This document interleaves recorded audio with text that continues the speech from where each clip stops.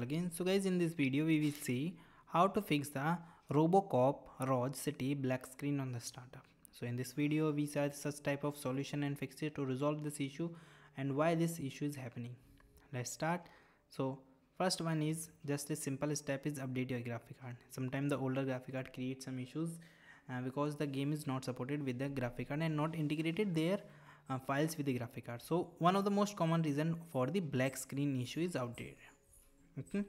To update your graphic card you can follow these step and you can carefully follow this step and you can follow step by step okay? If the issue is still persist, uh, persist then you are moving to the second step. So second step is verify the game files. Uh, sometimes game files can become corrupted.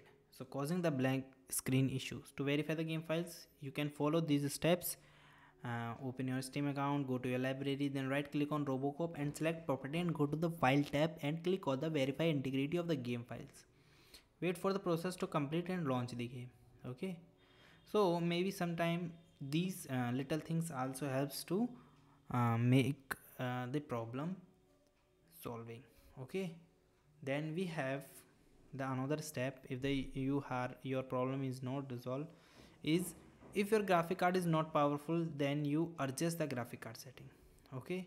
You may encounter the black screen issue to adjust the graphic card setting okay? Now in this uh, for these four steps are related to how to resolve this issue and launch the game and go to the option menu then select and adjust the setting to the lowest.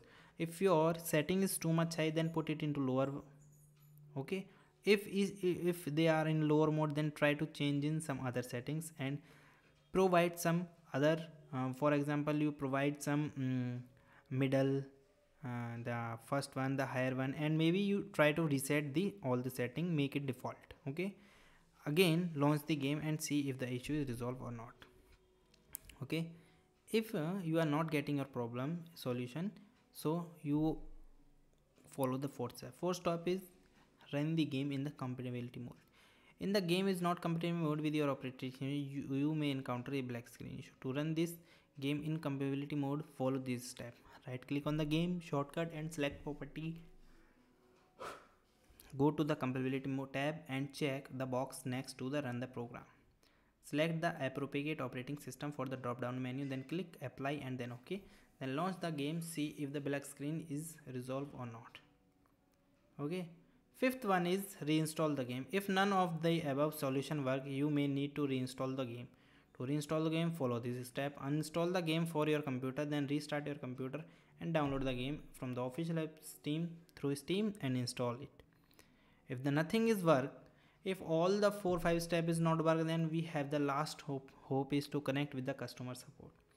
So you can go through your uh, on the same game website with their name. Otherwise, you click here then you can directly go to the page of the support team.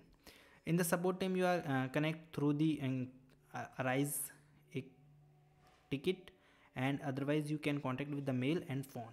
Okay guys thank you and have a nice day. And maybe these um, all the step helping to resolve your problem. Thank you.